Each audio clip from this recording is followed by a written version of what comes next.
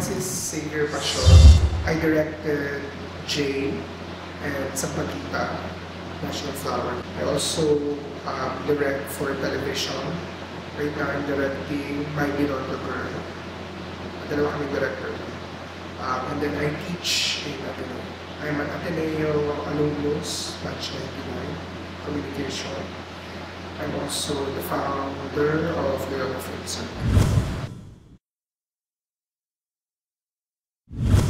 high school pa lang ako, ma, um, ma, dalas na ako nagdidirect ng mga school plays.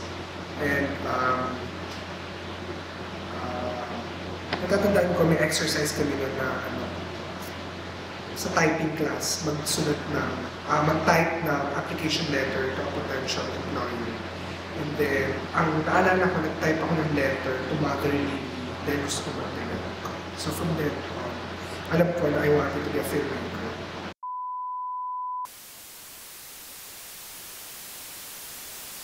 Jay was made in 2008. I was inspired by the work I did as a producer, writer, and director of a public service program for ABS-CBN in Libangan, Kabangan.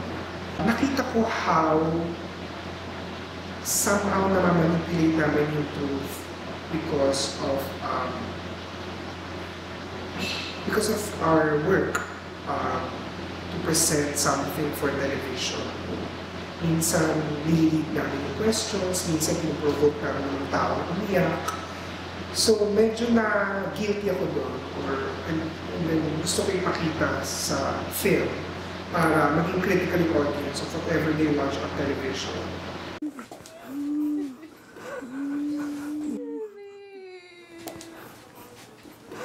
Simula ka kay ate to span, right, ha?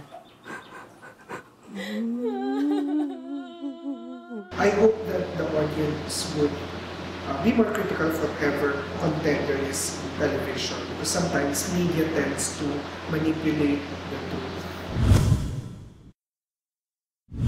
When he auditioned, um, hindi caricature gay character yung, yung, yung pinakita niya. So I instantly recognized that baka magbigyan niya ng another layer yung character.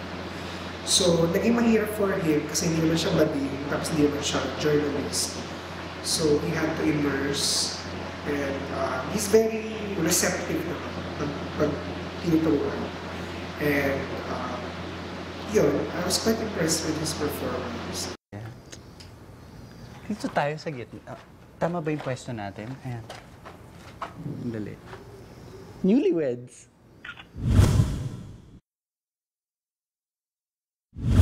Kailangan niyo munang tanungin sa sarili niyo kung gusto niyo ba talaga mag maging director. Yung iba, nakikita lang siya as a position of power, as a position of privilege and prestige. Pero kailangan niyo tanungin sa sarili niyo, bakit ko gusto ma- gumawa ng pelikula? Find a mentor. I'm blessed to have many mentors in the industry na pra- practitioners and they're the best in their fields. Sila Direct Marino Diaz Abaya, naging estudyante niya ako, nagturo siya dito sa Ateneo. And then when I went to ABS-CBN, yan sila Olive Lamasan, Ricky Lee, um, Enrico Santos, and si Armando Biglao. Um, he mentored me sa J, kaya ganun yung structure noon. Yun, sophisticated structure came from him. He's coming up with a manual of um, found story na, na it is very different from the imagined story school of uh, filmmaking and writing. So that is what I'm teaching right now Ateneo. I'm passing on that knowledge because I believe in that school of found story. Tsaka, yun, I, I challenge the, the students to um, create films na based on their actual experience, their based on true stories. Now you're in the know. Ay! Ay! Andrew. Thank God for Andrew. Ulitin po natin, Nanay Luz. Ayan, higa muna po kayo, Nanay Luz.